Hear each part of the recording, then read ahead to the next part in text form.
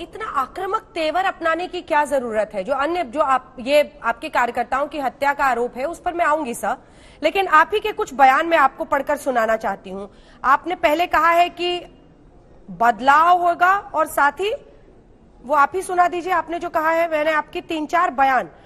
आ, बदलाव होबे बदलो होबे मतलब बदला भी लेंगे। राजनीति में बदला मैं- क्या चीज़ है सर? आप देख रहे हैं जब हिंसा का इतिहास रहा है। जी। फिर ऐसे उकसाने की क्या ज़रूरत है? ची- चीफ हमारे हमारे चीफ मिनिस्टर ने स्लोगन दिया था 11 में कि बदल होवे बदला न होए बदला होवे। बदल होवे मतलब बदला नहीं लेंगे बदल होगा। लेकिन आज उनसे ज़्यादा बदला कौन ले रहे हैं? हमारे 132 कार्यकर्ताओं की जो मौतें हुई है उन्हीं के कार्यकर्ता गुंडा और पुलिस के द्वारा हुआ है। मेरे ऊपर छह छह बार आक्रमण मेरा गाड़ी तोड़ा गया है। हमारे राष्ट्रीय अध्यक्ष को भी नहीं छोड़ा गया। उस दिन चार नेताओं को चोट लगा हमारे राष्ट्रीय नेताओं को। दस बारह गाड़ियाँ तोड़ी गई है। हज़ार अट्ठाईस हज़ार केसेस फॉल्स केसेस उसमें कौन सा केस नहीं है? हमारे कार्यकर्ता, क्यों हम भाजपा करते हैं? इसलिए हमारे ऊपर केस डाला जाएगा। घर में रहने नहीं देंगे, घर का खाना खाना नहीं देंगे, जेल में ठोस देंगे। और चच्चा थाने में केस एक साथ, एक एक कार्यकर्ताओं के ऊपर। तो हमने बोला, खाली बदल नहीं होगा। जिस, जिन लोगों ने कानून व्यवस्था को अपने हाथ में लिया है, संविधान को, लोकतंत्र को जो क्षत विक्षत किए हैं, उनके साथ बदला भी हम लेंगे और वो कानूनी ढंग से ही होगा। लेकिन दादा, उनका कहना है कि जहाँ पर भी किसी की मौत होती है या हत्या होती है, टीएमसी तो यही कहती है। वो कह रही है कि आप चले जाते हैं, उनको कहते हैं, ये तो हमारे बीजेपी के कार्यकर्ता हैं। ये कहना है उनका कि आप लोग लाशों की राजनीति कर रहे हैं। इस पर क्या जवाब होगा? नहीं, रा- लाश की राजनीति तो ममता बनर्जी ने किया है। जंगल महल में 200 किलोमीटर दूर दूर कोई मारा जाता था, उसका लाश लेके कलकत्ता में जाम करते थे, रोड जाम करते थे। हमने इस प्रकार राजनीति नहीं की है। हमने आरोप लगाया है। एक नौजवान कार्यकर्ता 22 साल का, उसको मार के पेड़ में टांग दिया जाता है। और उस लाश के नीचे एसपी खड़ा होकर बोलता है एक सुसाइड केस है। ना लाश को उतारा गया ना हाथ लगाया गया ना पोस्टमार्टम किया गया। और एक नहीं है। एमएलए को मार दिया गया है। एक से नेताओं को मारा जा रहा है। एक दिन हर दो तीन दिन में एक घटना होती है। दुर्गा पूजा के समय भी छह छह लोगों की हत्याएँ हुई है। तो अगर हम आरोप लगाते हैं कि बे, बेबुनियाद और एक का भी सजा किसी का हत्याकारी को नहीं हुई है। हर रोज यहाँ बलात्कार और हत्याएँ होती महिलाओं की। किसी पर ना तो चार्जशीट है ना तो किसी को सजा है। इसका मतलब ये सरकार की पॉलिसी बन चुकी है भय पैदा करके हिंसा करके सत्ता पर काबिज रहना। आप कह रहे हैं कि सरकारी तंत्र अफसर सब जानबूझकर बीजेपी को टारगेट करते हैं या बीजेपी को किसी ना किसी तरीके से नुकसान पहुंचाते हैं वो तो कहते हैं कि राज्यपाल तक बीजेपी की भाषा बोल रहे हैं। नहीं नहीं जो बात इस यहाँ किसी को उठाने का हिम्मत नहीं है आपका मीडिया को भी हिम्मत नहीं है उनको उठाकर रात बारह बजे थाना में बंद कर दिया जाता है। छह छह घंटा उनका पूछताछ किया जाता है बिना मतलब का। क्या इशू था? नहीं जो आम्फान का तूफ़ान आया उसमें हज़ार करोड़ रुपया प्रधानमंत्री चीफ मिनिस्टर को दिया था।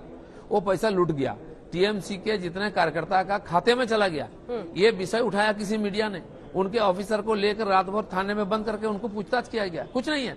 तो इस प्रकार डराने का जो डर का वातावरण बना है, किसी ने उसका, और खंडन नहीं करता, कोई आवाज़ नहीं उठाता है। अगर गवर्नर यहाँ आकर के, वो संविधान का प्रतिरूप है, वो इस प्रकार विषय पर उंगली उठाते हैं तो उसमें दोष क्या है?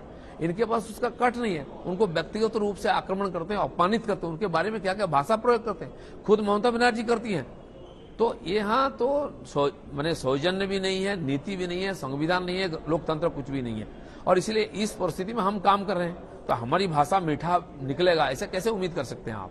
लेकिन आप ममता बनर्जी को कई वर्षों से देख रहे होंगे दिलीप घोष। जी एक सवाल आपसे पूछती हूँ, देखिए, राजनीति तो होती रहती है, लेकिन उनकी भी एक संघर्ष की राजनीति रही है। वाम दलों के गढ़ को उन्होंने किस तरह से ललकारा, चुनौती दी सत्ता में आई, लगातार एक लोकप्रिय मुख्यमंत्री के तौर पर वहाँ पर रही। आप लोग अब चुनौती दे रहे हैं। उनका ये कहना है कि बाहरी लोग, चूँकि आपके तमाम केंद्रीय नेता, मंत्री सब पहुँच रहे हैं बारी बारी कैलाश विजय वर्गीय ने वहाँ डेरा डाला हुआ है। आपके बीजेपी अध्यक्ष पहुँचते हैं बार बार गृह मंत्री अमित शाह खासतौर पर बार बार पहुँचते हैं। वो कह रही हैं कि बाहरी लोग आकर बंगाल को गुजरात नहीं बनाने दूँगी। बाहरी लोग यहाँ पर आके बंगाल की फिजा खराब कर रहे हैं, हिंसा फैला रहे हैं। इस पर आपका जवाब।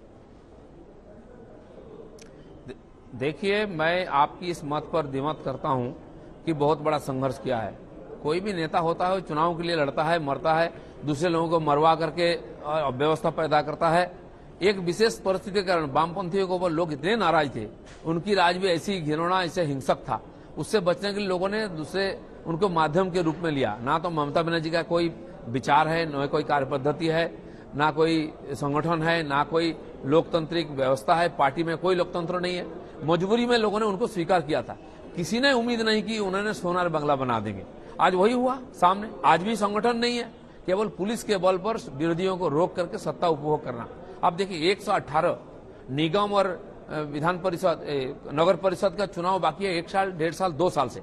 क्यों नहीं चुनाव होता है? हैदराबाद में हो सकता है, राजस्थान में लद्दाख में और बोडोलैंड में हो सकता है। बंगाल में क्यों नहीं चुनाव करते हैं? दो दो साल से लोगों को वंचित कर रखे हैं सेवा से। क्यों प्रतिनिधि नहीं है यहाँ? इसका मतलब आप डरती है कि चुनाव होने से भाजपा जीत जाएगा। जो लोकतांत्रिक व्यवस्था को सम्मान नहीं देती है सुरक्षा नहीं देती है उनको क्या किया जाए? तो इस प्रकार एक राज्य में हम राजनीति कर रहे हैं और हमारा राष्ट्रीय पार्टी है। हमारे राष्ट्रीय नेता नहीं आएँगे प्रधानमंत्री नहीं आएँगे राष्ट्रीय अध्यक्ष नहीं आएँगे होम मिनिस्टर नहीं आएँगे उनको बाहर ही कहा जाएगा।